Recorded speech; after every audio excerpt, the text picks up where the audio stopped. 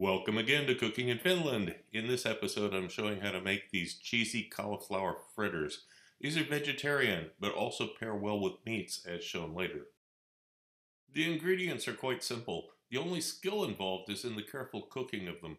Begin by boiling cauliflower florets in salted water for about 9 minutes. Then transfer them to a bowl and let cool to room temperature. The pieces should be fork tender but not mushy.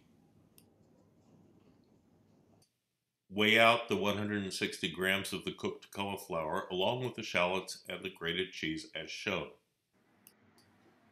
Grind this up in a food processor and scrape down the sides as needed.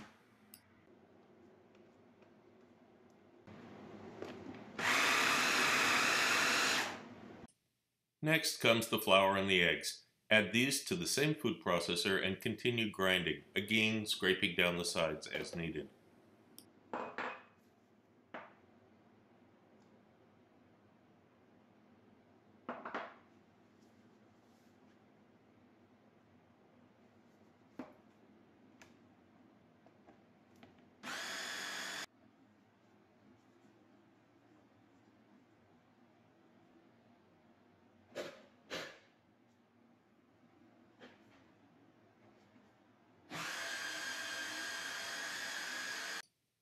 The end product should look something like thin cooked oatmeal.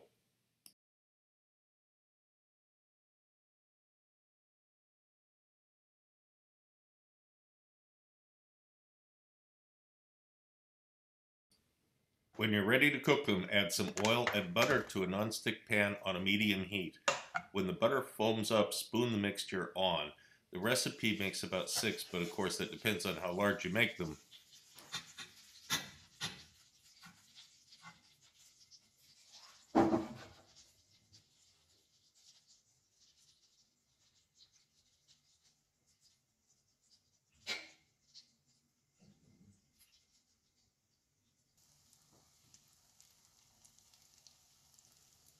Let them cook for about four minutes first before you try flipping them.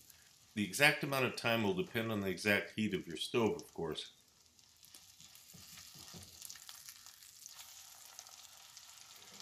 You'll need to flip them over a few times, at least three times before they're done, and you'll need to allow four or five minutes each time. And what you want is a deep golden crust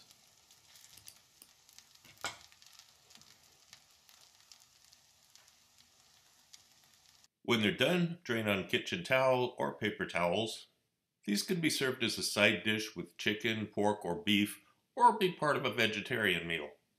Another application is as a filling for sandwiches. I suggest two fritters per sandwich along with the condiments like mayonnaise and mustard. And if you aren't a vegetarian, then ham or prosciutto cotta pairs very well. If you haven't already, check out the video on my channel explaining my latest book devoted entirely to Michelin star restaurant plating techniques. A link is in the description below. And if you have the book, I implore you to please leave feedback on Amazon or wherever you purchased it because feedback helps move the book up in the search engine's priority. Thank you for watching and a very special thank you to my loyal members.